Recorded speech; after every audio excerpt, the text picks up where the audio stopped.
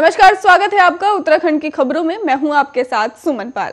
विधानसभा चुनाव 2022 के लिए लंबे इंतज़ार के बाद ही कांग्रेस ने शनिवार देर रात तिरपन उम्मीदवारों की लिस्ट जारी कर दी है। उत्तराखंड के ही मुख्यमंत्री पुष्कर सिंह धामी के खिलाफ खटीमा विधानसभा सीट से ही आपको बता दें कि कांग्रेस ने ही भुवन चंद्र कापड़ी को ही उम्मीदवार बनाया है।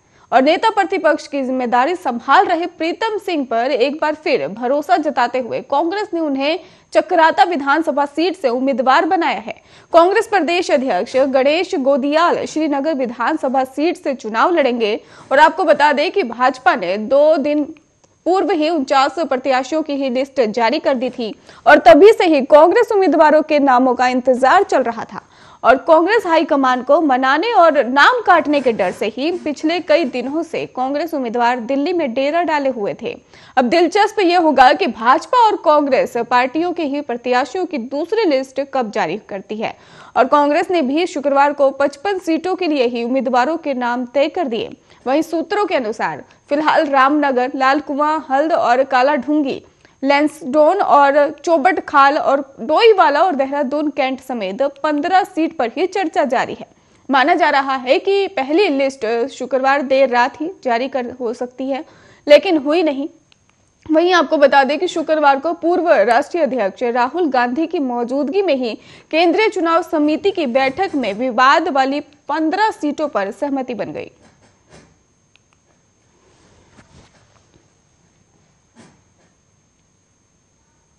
देश भर में सबसे पुरानी पार्टी कांग्रेस के पतन और राज्य में ही कम हो रहे जनादेश को ही लेकर उत्तराखंड के पूर्व मुख्यमंत्री हरीश रावत ने खुलकर बात की है। उन्होंने कहा कि कभी बल्लेबाज भी आउट ऑफ़ फॉर्म में ही चले जाते हैं। उन्होंने देश की जनता को ही आश्वस्त करते हुए कहा कि देश भर में ही कांग्रेस की भी फॉर्म जो है वो थोड़ी कम हो गई है। इसे हम फिर से ही हासिल कर अपने फॉर्म में आ जाएँगे। साथ ही उन्होंने कहा कि उत्तराखंड में कांग्रेस यानी हम फॉर्म में हैं और हमारे यहाँ फॉर्म में चल रहे बल्लेबाजों की अच्छी बेंच स्ट्रेंथ है। उधर पूर्व सीएम हरीश रावत के समर्थन में ही बीडीसी सदस्य प्रधान और युवा कांग्रेसी एकजुट हो गए हैं। और सभी ने ही हरीश रावत को रामनगर से चुनाव लड़ने की मांग की है और नगर पालिका के ही चेयरमैन और कांग्रेस के प्रदेश महामंत्री का भी विरोध किया है। ब्लॉक में ही बीडीसी सदस्य प्रधान और यूथ कांग्रेस से जुड़े कार्यकर्ताओं की बैठक हुई। यूथ कांग्रेस के अध्यक्ष गोपाल अधिकारी ने बताया कि रामनगर से ही पूर्व मुख्यमंत्री हरीश रावत को आला कमान को टिकट देना चाहिए। कांग्रेस के प्रदेश कार्यकारी अध्यक्ष रणजीत सिंह रावत ने टिकट देने की मांग को लेकर ही गुरुवार को पालिका के चेयरमैन हाजी मोहम्मद अकरम को प्रदेश कांग्रेस महामंत्री किशोरी लाल ने प्रेस वार्ता की है। और इसके साथ ही आपको बता दें कि जिसमें रणजीत को ही टिकट न देने पर निर्दलीय चुनाव लड़ने की बात कही गई और जो गलत है, कहा जा, दोनों का ही पुरजोर विरोध किया जाएगा। वहीं पूर्व सभासद शिल्पेंद्र बंसल ने बताया कि पूर्व मुख्यमंत्री के चुनाव लड़ने से ही रामनगर की तस्वीर बदल जाएगी।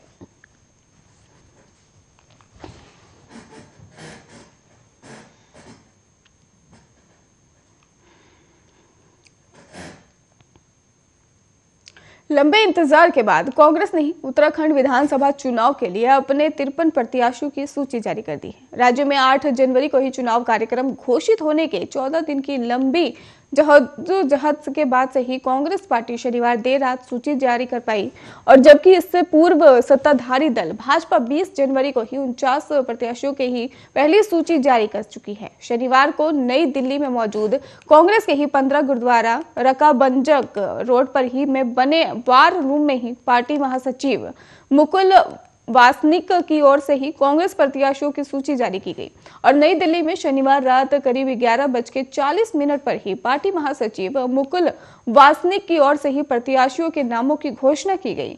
और घोषित सूची में ही पार्टी के सभी नौ सेटिंग्स विधायकों और जगह दी गई है और खटीमा सीट पर ही मुख्यमंत्री पुष्कर सिंह धामी के खिलाफ पार्टी ने भुवन चंद्र कापड़ी को ही मैदान में उतारा है और पहली सूची में तीन महिलाओं को उम्मीदवार बनाया गया है। घोषित सूची पार्टी प्रदेश अध्यक्ष गणेश गोदियाल, श्रीनगर नेता प्रतिपक्ष प्रीतम सिंह को ही उनकी परंपरागत सीट, चक्राता पूर्व विधानसभा अध्यक्ष गोविंद सिंह कुंजवाल को ही, जागेश्वर पूर्व कैबिनेट मंत्री यशपाल आर्य को ही, बाजपुर तो उनके पुत्र सजीव आर्य को ही नैनीताल से प्रत्याशी बनाया गया है। और इसके अलावा पार्टी की दिग्गज नेता रही दिवगत इंदिरा हदेश के ही पुत्र, सुमित हदेश को ही हल्द्वानी से ही प्रत्याशी बनाया गया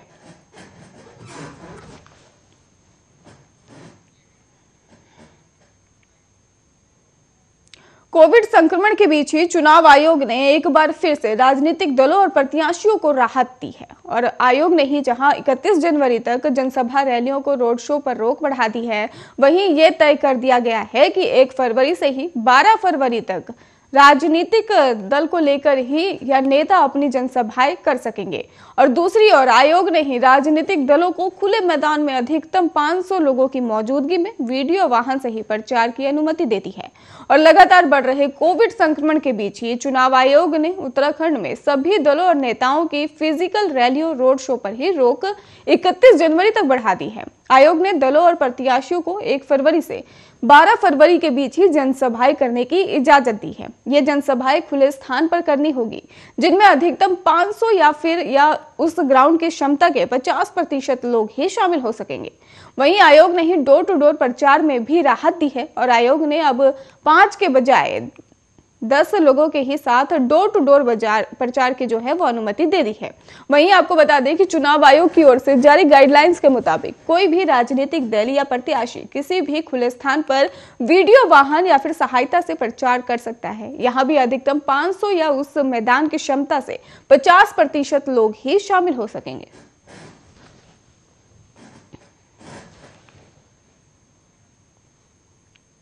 एम्स ऋषिकेश में ही सोमवार से सामान्य ओपीडी सेवाएँ बंद कर दी जाएँगी और मरीजों को ही टेलीमेडिसिन सेवा के तहत ही फ़ोन के माध्यम से ही चिकित्सकीय परफॉर्मेंस की सुविधा मिलेगी। एम्स की इमरजेंसी सेवाएँ पूर्व की तरह बहाल रहेंगी। कोरोना की तीसरी लहर के बीच ही एम्स प्रशासन ने एहतियात कदम उठाते हुए ओपीडी सेवाओं को बंद करने का निर्णय लिया है। एम्स के ही medical superintendent professor Ashwani Kumar Dalal ने बताया है कि अस्पताल की सामान्य ओपीडी और सेवाएँ सोमवार के लिए बंद रहेंगी और जबकि इमरजेंसी सेवाएँ को ही 24 घंटे संचालित किया जाएगा। उन्होंने बताया कि इससे अलावा कैंसर ग्रसित पुराने मरीजों को ही कीमोथेरेपी और रेडियोथेरेपी सुविधा का लाभ मिलता रहेगा। प्रोफेसर अश्वनी कुमार ने यह भी बताया है कि सामान्य मरीजों को ही टेलीमेडिसिन सेवा के तहत ही चिकित्सकीय परफॉर्मेंस की सुविधा मिलेगी और चिकित्सीय परफॉर्मेंस के लिए ही मरीज़ टेलीमेडिसिन सेवा के फ़ोन नंबरों पर ही संपर्क कर सकते हैं। और एम्स प्रशासन ने ही लोगों से मास्क, सामाजिक दूरी और सैनिटाइजिंग करने का भी निर्णय लिया है।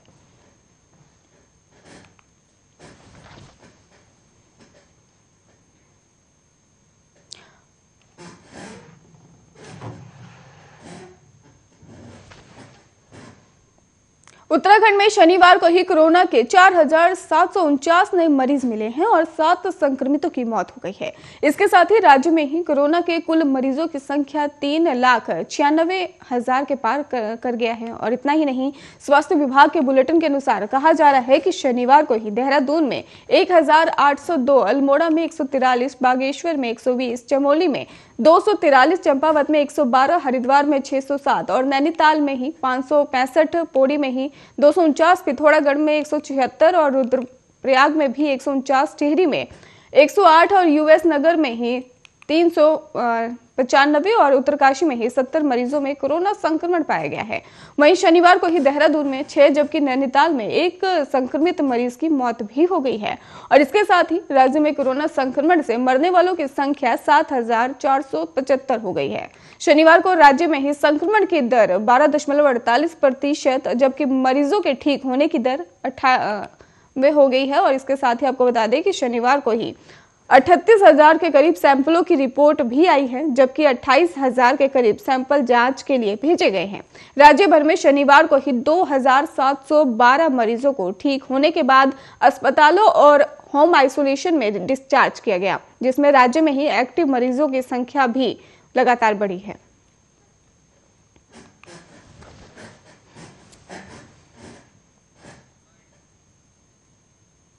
उत्तराखंड में शनिवार रात भर मैदानी इलाकों में बारिश और पहाड़ी इलाकों में बर्फबारी होती रही, जिसके बाद अब कड़ाके की ठंड बढ़ गई है।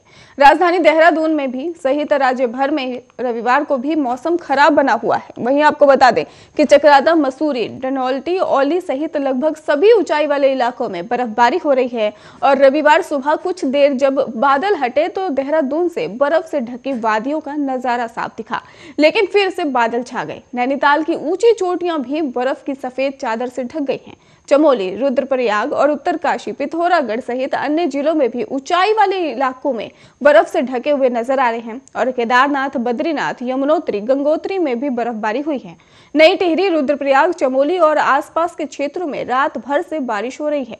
वहीं बर्फबारी से यमुनोत्री हाईवे शनिवार देर रात से ही कई जगह पर बंद हो गया और हाईवे, फुलचट्टी और राडी टॉप में ही बंद रहा और इसके साथ ही आपको बता दें कि मार्ग खोलने के प्रयास फ़िलहाल किए जा रहे हैं। और बारिश बर्फबारी से ही रवाई घाटी में भी जिला मुख्यालय से संपर्क कट गया है और गीट पट्टी के बारह गाँव का भी तहसील मुख्यालय से संपर्क कट गया।